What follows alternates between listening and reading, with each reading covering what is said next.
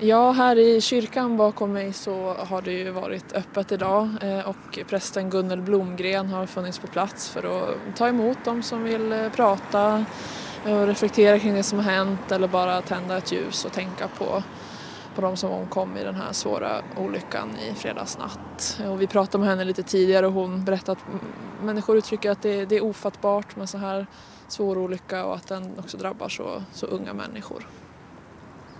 Och Emma, 18-åriga Sara, hon överlevde ju den här dödskraschen. Du har pratat med hennes anhöriga. Vad säger de om det här fruktansvärda som hänt?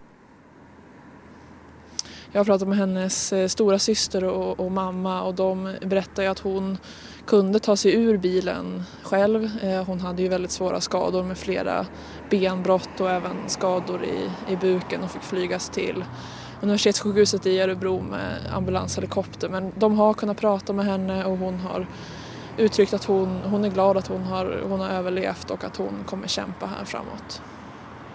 Men hennes bästa vän då, 18-åriga Olivia, omkom ju då i den här bilolyckan. Du har pratat med anhöriga där, vad, vad säger de? Ja, hennes familj berättar om, om Olivia och, och, säger att hon, hon såg fram emot att ta studenten. Hon skulle ha gått ut från Möcken gymnasiet här i, i Degerfors om, om några veckor eh, och hade sökt in till eh, civilekonomprogrammet i höst. Ehm, och de säger att hon var, hon var alltid glad, hjälpsam, sprudlande glad säger de när de minns sin syster och dotter.